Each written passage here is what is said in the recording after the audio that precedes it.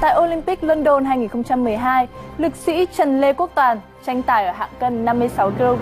và xếp hạng thứ tư chung cuộc với mức tổng cử là 284 kg. Thành tích của Trần Lê Quốc Toàn kém 2 kg so với lực sĩ giành huy chương đồng là Valentin Hristov của Azerbaijan. Theo thông báo mới đây của Ủy ban Olympic quốc tế, thì mẫu thử tại Olympic London 2012 của lực sĩ người Azerbaijan đã dương tính với chất cấm.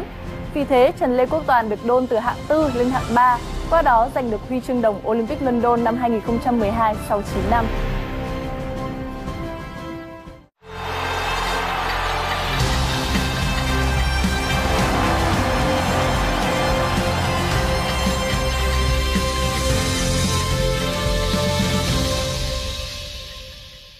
Sau khi thu hồi, tấm huy chương đồng cử tạ hạng 56 kg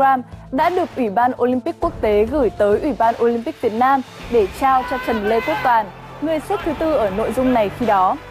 Như vậy, sau gần một thập kỷ đằng đẵng thì vận động viên Trần Lê Quốc Toàn mới được sở hữu tấm huy chương đồng của mình tại Olympic London năm 2012.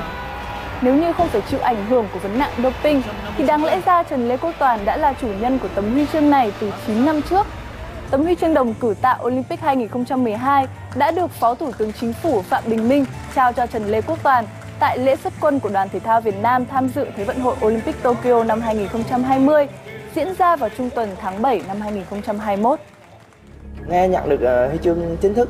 thì uh, mình cũng ừ, có một một chút bồi hồi lại nhớ, nhớ lại cái cái kỷ niệm mà mà cùng thầy trò tập luyện ở bên nước ngoài và cùng thi đấu thì nó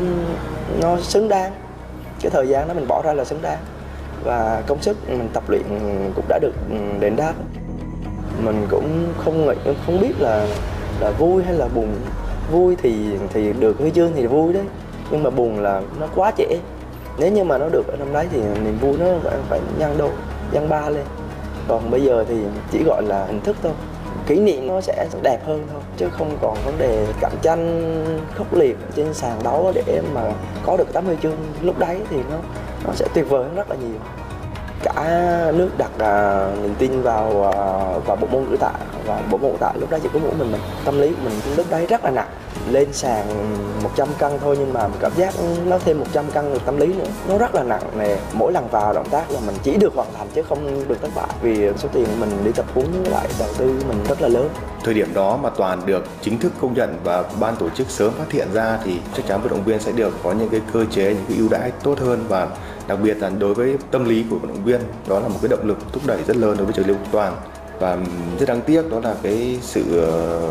trau trao này nó hơi chậm trễ. Thành ra là cái động lực cũng như là những cái cơ chế, thậm chí và cái những cái tiền thưởng và vật chất đối với toàn ở cái thời điểm này thì không thể được như chính cái kỳ đại hội 22 và chúng tôi cũng ờ, rất tin tưởng, hy vọng rằng ờ, tại những cái đơn vị chủ quản của toàn cũng như là ngành thể thao cũng sẽ có những cái tạo điều kiện cho sau này để em tiếp tục được cống hiến, được phát triển cho môn cử tạ và cho thể thao Việt Nam. Cái lúc đấy thì cũng rất là buồn vì mình đã tập luyện rất là là vất vả cùng với thầy trò đã đi ờ, nước ngoài ờ, 7 tháng hơn 7 tháng để ờ, tập trung vào cái giải Olympic này công sức của mình bỏ ra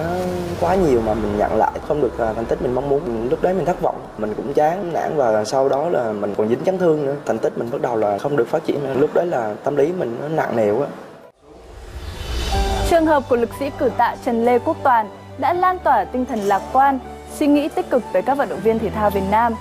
Dù nhận tấm huy chương muộn và phải chịu nhiều thiệt thòi, nhưng Trần Lê Quốc Toàn không hề oán trách số phận. Ngược lại, anh còn cảm ơn cuộc đời đã giúp mình trưởng thành và nghị lực hơn từ chính những khó khăn. Toàn cũng ờ, rất là mong ờ, sẽ sẽ huấn luyện được ờ, ra những vận động viên có năng lực thật sự để phục vụ cho cử tạ Đà Nẵng cũng như cử tạ nước nhà và tôi cũng mong ờ, cử tạ Việt Nam mình sẽ gặt hái được nhiều thành công ở trên trường đấu quốc tế và phát triển cảm giác những cái lớp cử tạ sau này sẽ phát triển thành công hơn nữa. Như vậy, Trần Lê Quốc Toàn đã trở thành vận động viên giành được tấm huy chương duy nhất cho đoàn thể thao Việt Nam tại Olympic London năm 2012. Đây là tấm huy chương thứ hai trong lịch sử tham dự các kỳ Thế vận hội của cử tạ Việt Nam, đồng thời cũng là tấm huy chương thứ năm của thể thao Việt Nam tại các kỳ tham dự Thế vận hội. Chương trình ký ức thể thao ngày hôm nay cũng xin được khép lại tại đây. Xin kính chào tạm biệt và hẹn gặp lại quý vị vào ngày mai trên kênh VTV3.